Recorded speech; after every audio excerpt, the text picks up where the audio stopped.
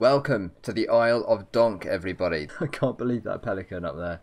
Oh, we have one. Alright, guys. We're on the floor just below right now in a different building. Guys, I've just seen a crate. Welcome back, everybody, to episode 5 of our Stormworks Career Mode Let's Play. At the moment, we're just about to complete a mission which we had at the end of episode 4. And then we are going to go back to the starter base and I'm going to show you a tanker that I've been working on, guys. A completely new vehicle which is going to hold a lot more fuel and it's going to make a lot more money. Okay, so let's hand in the mission right now and see what we get then. We've got a new one as well.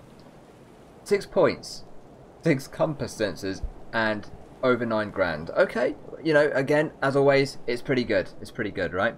So, let's just stop these people following. Okay, now we might as well go inside here and just have a look at um, for any crates or anything like that. Always worth a look, isn't it? In there. In there either. But there are some other levels we can go up to. Oh, and this one. Oh yeah, there's the door over that side. We've got a load of research points right now, and actually, we have some more research to do, so in a minute, yeah, I don't think you ever get anything in the bathrooms, actually. Um, yeah, we'll do some more research in a minute, guys. As the other one has finished now, it's completed. Oh, we have one. Alright, guys. What do we get then? Let's have a look. At, whoa. Okay. 180 paintable signs. That is mad. That is, that is a lot. Okay. I didn't expect that at all. wonder how much they are each. I bet that's quite a lot of money's worth actually. But then if we go right to the top we may find an extra one if we're really lucky. Nope, nothing up here. But there is one down below guys. We're on the floor just below right now in a different building. So let's find out what we get here. Oh good, Artificial Horizon, we might need that. 12 points, very good, and just nearly a grand. I mean, it's better than nothing, isn't it? Okay, next I'm going to show you what research we have to do. So, oh, we, yeah, that's the other mission we got. An hour and 15 minutes to do it, and it is, yeah, it's just a passenger mission, actually. We might fit that in somewhere. But, research. Um, I think, right, we should go for, was it? Yeah, this one here, because we get steps. And we get the Azzy thruster um, which, you know, I'm actually going to need steps on the next build. Also, the Azzy thruster might come in very handy as well. I haven't really decided which kind of propeller we're going to use yet, but that one is very much an option. We get the horn as well, you know, the helm, it's pretty good. And yeah, then from that we can unlock the uh, the large engine and all, sorts of stuff there. So that is actually pretty good, guys. I think that's what we should do. So it's only 8 points, amazingly. Takes less than one hour. Okay, let's do it. Super cheap. Um, also, yeah, we've got nearly 100,000 there. Very handy indeed. Right then, I'll bring you along on a small job I've got to do first before we head back to the workbench where we'll take a look at the new boat I've been working on.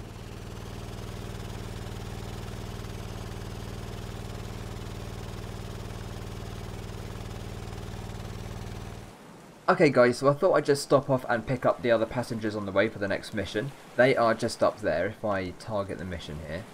There we go. They're just up on the shore. Well, actually, I think this is a fort, isn't it? So they're easy to get. There are five of them. We only have four seats, but, well, including mine, there are five. So one of them will have to stand, but that doesn't matter because actually they don't really fall off when you're going along. As long as we're sensible and we don't jump over big waves or anything, we'll be alright. So let me put the flashlight on here. Now, I'm sorry it's a bit dark, guys, and the rain doesn't help either. But this shouldn't take too long. Before we actually pick them up, let's go and have a look into the fort itself and maybe we'll find a crate or something. We'll just have a look along here in all, all these little holes in the sides. I don't know if you ever do find a crate in there. We'll have a look anyway. Or here. No, nothing at all. That's a shame. Well, there's, there's a lot more places to look in here. Okay, how about we go through here then into the centre. Ah, here we go. There's, there's one in there. How do we get in there? Um, you can open. Yeah, you can't open these. Oh, here we go. There's a, there's a weird door here. Okay. well, it's hard to get over the edge of that. Even crouching, it's like there's something pulling me out of it. Anyway, go through. Fantastic. What is inside? Five lockable buttons, 12 points, and two grand. Very good. I am pleased with that one. Okay, can we get out? Please. Oh no, it, it's weird. It's That is very odd. It's kind of chucking me to the right when I try and get out. Let's uh, crouch, shall we? I can't get out, guys. I'm literally stuck. I suppose it's probably meant to be a prison or something, isn't it? Yes, we're out, we're out. And I can't even close the door that easily. There we go. Alright then, now we can go upstairs actually. So let's have a quick look up there. Not sure that we'll find anything else. But why not have a quick look? There's nothing here. It's chests there. It's very empty, isn't it? Yeah, can't see anything at all.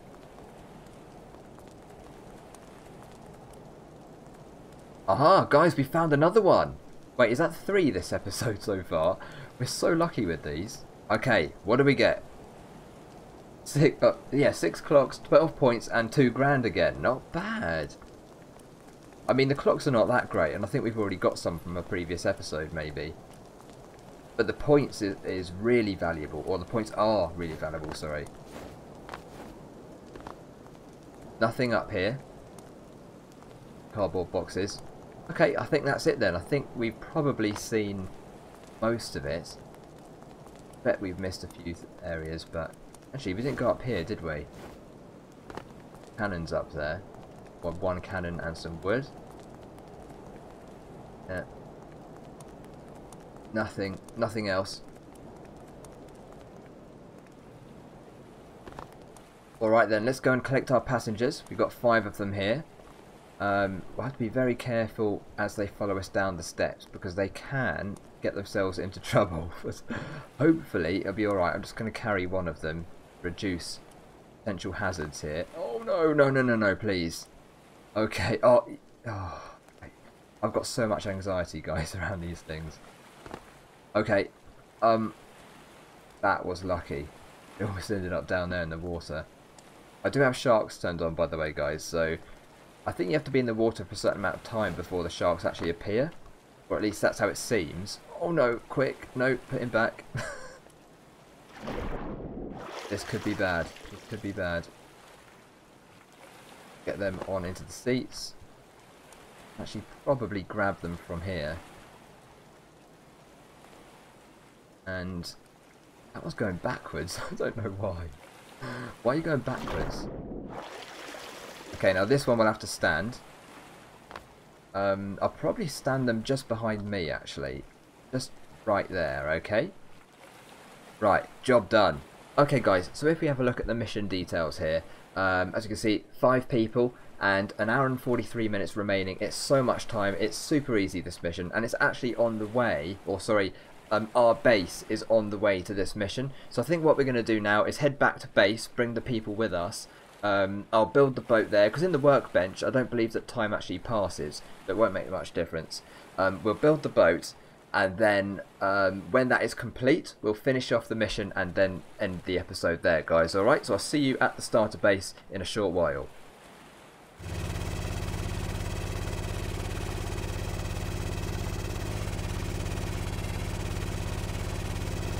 Okay, welcome back to our starter base, guys. We've just got the five passengers on shore here while they wait for us to build an entire tanker, okay? But now let's head over into the workbench and I'll show you the first stage of our new creation. Here she is then, the first tanker. And um, if we look around the back first of all, perhaps. So here's the bridge. Obviously there's nothing in it right now. This is only stage one of the build. Um, I put some windows in the in the roof here just to get some extra light in. And then down here I've actually got a cabin. So, you know, I'm going to actually, these uh, darker squares are going to be for outfits, you know, like scuba diving gear and all the rest of it. Um, bed might come in really handy. A light switch, a couple of lights, a clock in there at the moment. Then here, because the boat the boat is so big compared to this build area that I had to like recess the ladder into the hull itself, otherwise it wouldn't fit. They wouldn't let me build it. So there we go. Um, a really, really round bow here, just to get as much air as possible into the hull, so we get more buoyancy. We have a keel down here. Um, at the stern, the keel may change a little bit, because, well, I need to put propellers in and stuff, of course. But that's the general idea of it. And as you can see here, we've got weight blocks going all the way down the centre. Keep our centre of mass really low if possible. I mean, that, that is the centre of mass right now. We will most likely have to lower it a bit. But as you can see, loads of weight blocks down here. And um, also, because this is actually, this here is the bottom of the hull, and here is inside the keel. So we could actually put batteries and stuff inside the keel as weight but also saving space in the main hull itself. I think that's quite a good idea. I might uh, I might try to do that anyway. We'll see, guys. Okay, but that is the first stage. Just before we continue, guys, I have some research to do. And as you can see, there's nothing going on right now. So I reckon we should do land vehicles next. The reason is that um, we need the spotlights. You need to have underwater lights. And, you know, at night time, it's very difficult to see, of course. So that's what I'm going to do next. We'll get that underway and then carry on looking at stage 2. Okay, so I would say this is stage 2 guys, but actually I've almost finished it now, so um, there are still a couple of things to do. But here we go, this is almost the final version of our tanker here. And um, I think in a minute I'll spawn it in and do a walk around. I'll just go around quickly in the workbench so we can see inside the hull actually. It holds 23,000 litres of fluid cargo. And then in inside the hull here, um, full fuel tanks, about 2,800 litres of fuel. Um, a couple of batteries there. I've also got more here as well.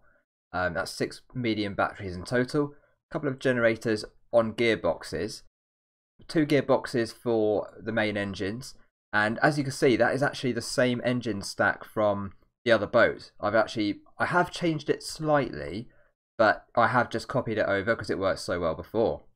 This here is a sensor for fluid capacity, so we can see how much air we have inside the hull, and it's currently around 150,000 litres, um, which is pretty good, I think, so far. So underneath, we've got twin ASI thrusters here, and just one rudder, which seems to work pretty well. I have tested this uh, briefly, so I know it works. Um, then here's the keel. We now have weight blocks underneath the keel as well. It is going to be quite heavy when the tank's full, guys, um, because it is 23,000 litres in there.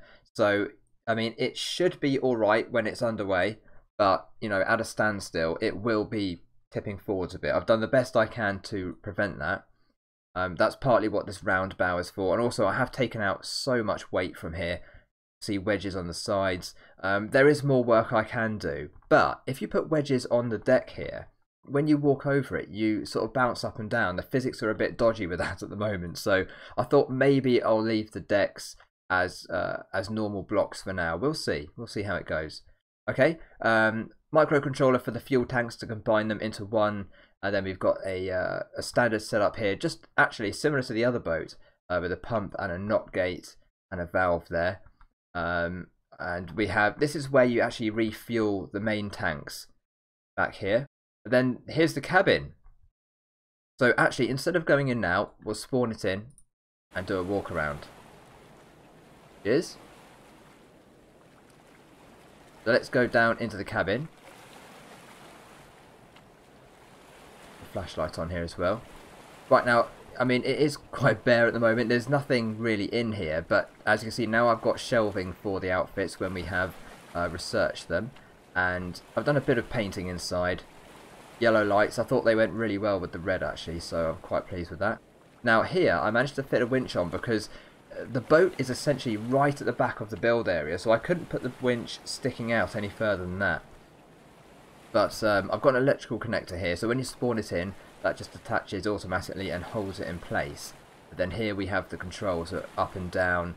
Um, I think I've got work lights. Yeah, stern work lights as well, actually. So one is um, just here, and the other one is underneath and I might put a spotlight there instead, the one that we're researching right now. But for now, that gives us a bit of room, you know, if we actually drop the connector down by accident or if we need to hook up to something which is a few meters underwater, they could come in really handy, those lights there.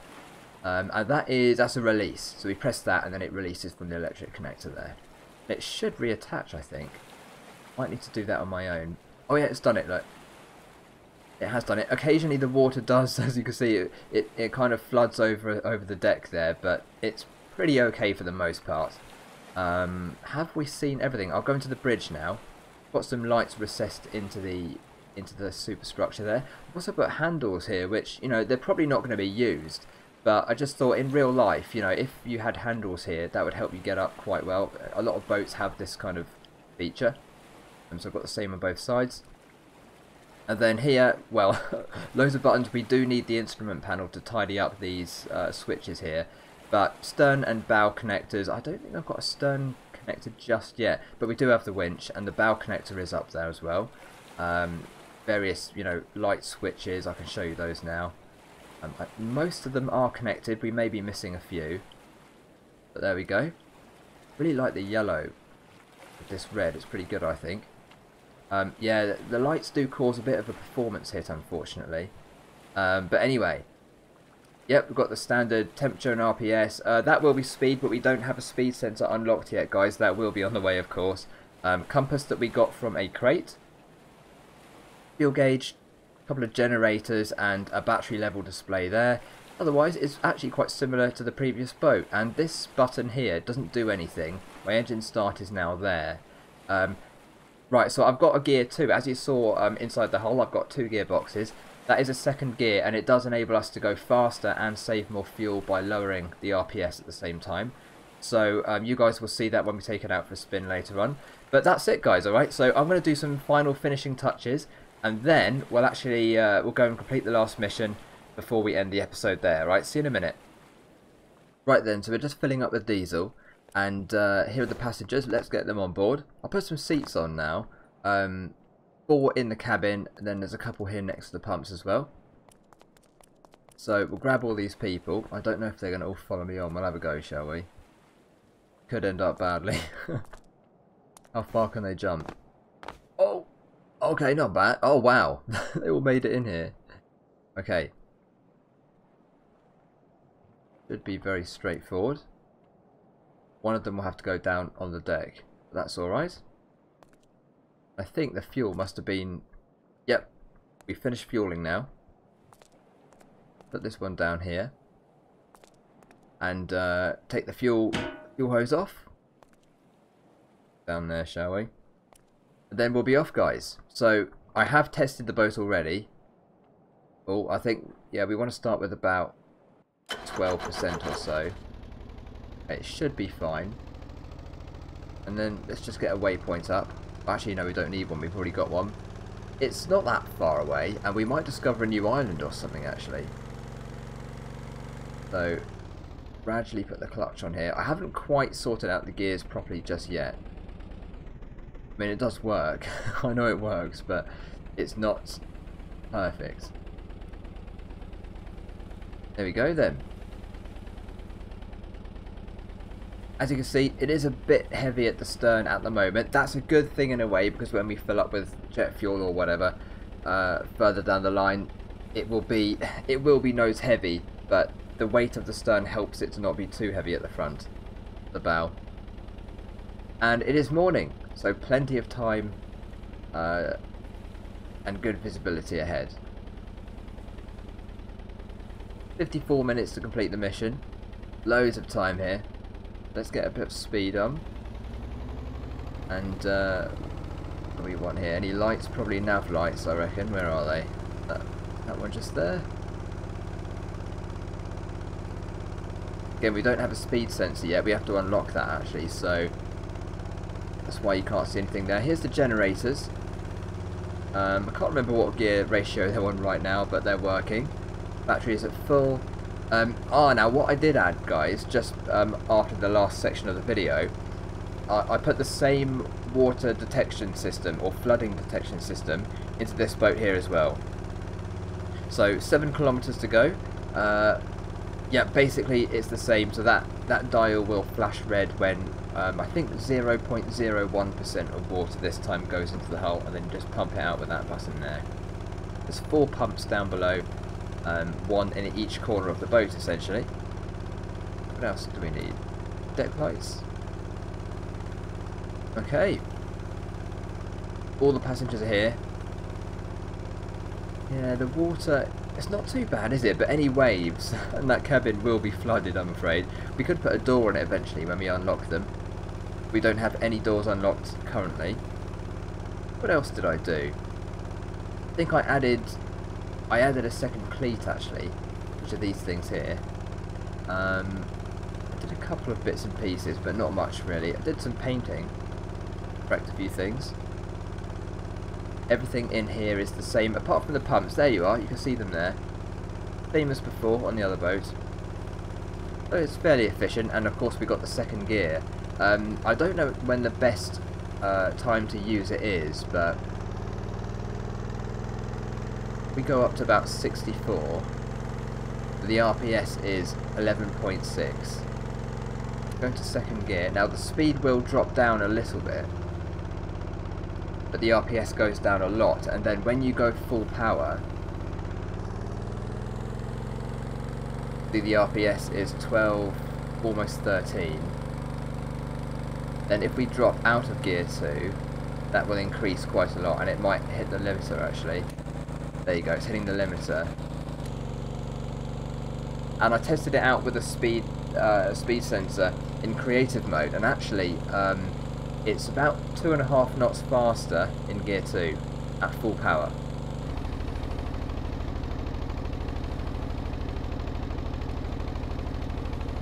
Guys, I've just seen a crate, so we're going to turn back and get that. So right there it is. Yes, another one. And we only have four and a half kilometres to go. Now, I might be able to get it from the deck actually. I'm not sure if we're too high up If we slow right down, we'll go into gear 1. We'll try to pick it up without stopping. That might be a bad idea. I mean, we will slow down a lot. Hopefully we won't stall. That's pretty close right there, isn't it? Right, let's go down here. See if we can grab it. Crouching. Yes. Alright. Three wheels. Oh no, sorry, four wheels. Nine points and $400. Let's go.